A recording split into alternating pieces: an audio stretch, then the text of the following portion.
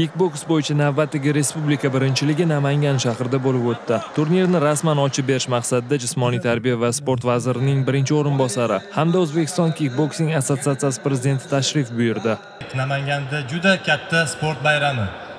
Mana o'zimiz guvohi bo'lib turganimdek, e, kikboksing bo'yicha O'zbekiston chempionatini ochilishida turibmiz. Mana bu yerda 650 dan oshiq sportchilar bellashadi, kurashadi va kutib qolamiz albatta sizlardan eng yaxshi natijalarni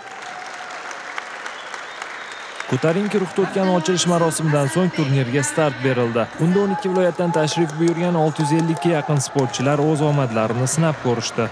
Aziz do'stlar, Farg'ona viloyatida bo'lib o'tgan yoshlar o'rtasidagi kickboksing chempionatida, demak, birinchi o'rin egalari ma'lum bo'lgan bo'lsa, endilikda Namangan viloyati kattalar o'rtasidagi kick light, low kick hamda uh, full kontakt yo'nalishlari bo'yicha O'zbekiston Respublikasi birinchi ligiga demak mezbonlik qilmoqda. Xususan kicklight yo'nalishida nisbatan yosh sportchilar o'z mahoratlarini namoyon etishgan bo'lsa, full kontakt bahslarda o'smirlar o'z omadlarini sinab ko'rishdi. Kickboksing bo'yicha kicklight yo'nalishida keskin va murosasiz o'tgan chorak final bahsida Andijon viloyati vakili Shohruxbek Abdulhamidov e, o'z raqibini yengib mana hozir yarim finalga yo'l oldi. Xo'sh uning fikrlari bilan ham qiziqib ko'ramiz. Bu musobaqa qanday o'tyapti shohruxbek bu musobaqa yaxshi o'tyapti. Men uchta yutib chorak finalga chiqdim. Mening kelajakdagi orzuyim chempion bo'lib yurish. Eng qiyin raqiblar qaysi biri bo'ldi mana chorak finalga? Mana shu param bo'ldi. Chorak finaldagi param bo'ldi. Kickboks sport turgan shug'ullanib boraman. Shu sport davomida ko'p musobaqalarga chiqdim endi mana sekin endi birinchi respublika. Respublikadan sekin sekin keyingi maqsadlar osiyolarga jahon chempionatiga chiqish niyatim bor xudo xohlasa.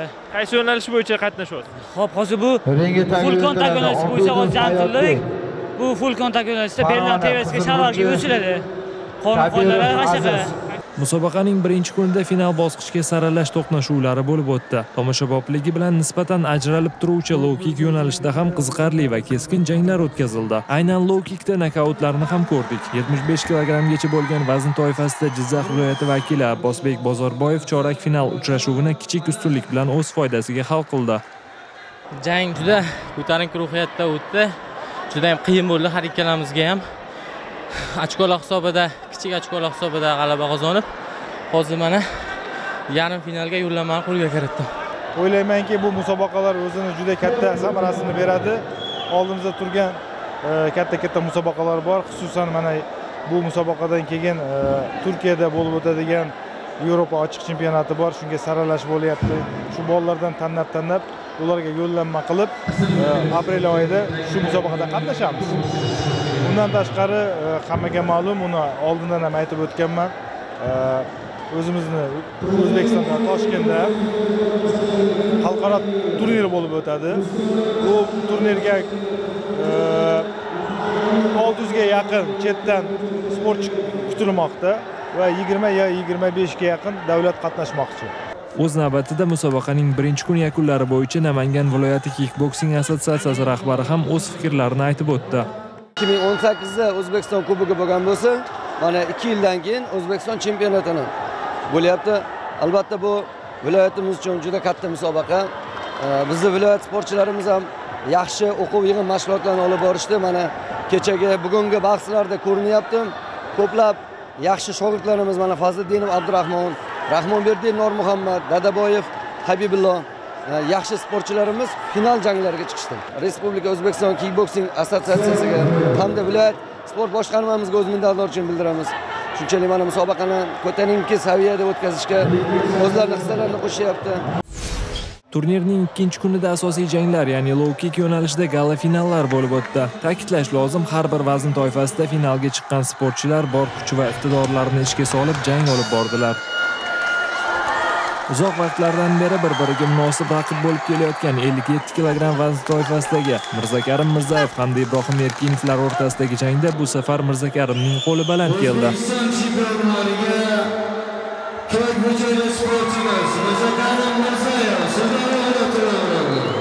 Toshkent shahri sportchisi ibrohim akam ham juda qattiq zo'r sportchi hurmat qilaman akani.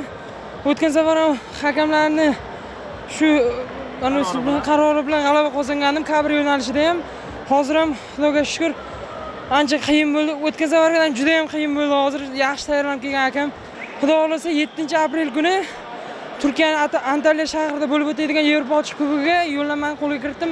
O'sha yerga borib o'zbekiston bayrog'ini ko'tarib kelishga harakat qilaman.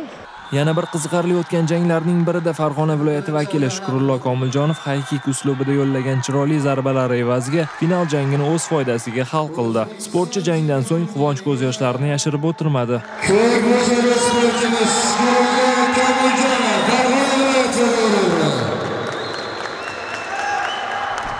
taqdirlashni ustozim zaripov Avror yordamida ular sababchi shu darajaga erishdim. Oltmish uch yarim kilogramm vaznda bugungi o'tkazilayotgan musobaqada finalist bo'ldim va birinchi o'ringa ega bo'ldim.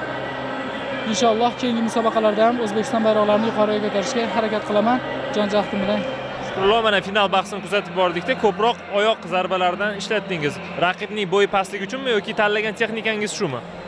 Ustozim shunday taktikada ishlaysan dedi birinchi e, jangimdan boshlab ustozim bu raqibga bunday taktika qo'llaymiz.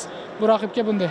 Hali tepada o'tirgan paytda ustoz final ertaga bo'lsa keyingi raqibga qanday taktika qo'llaymiz ham stoykasi chap bo'yi past ko'proq oyoqlaring bilan zarba berishingga kerak bo'ladi. Ana shunda uni nokaut yoki nokaut holatiga uchrashi mumkin deb berdilar.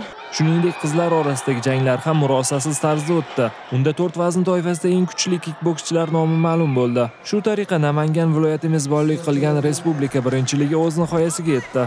Eslatib o'tamiz kikboks bo'yicha terma jamoamiz 7 aprel kuni turkiyaning antaliya shahriga jo'nab ketadi. Hamyurtlarimizga bo'lajak xalqaro turnirlarda ham zafarlar tilab qolamiz.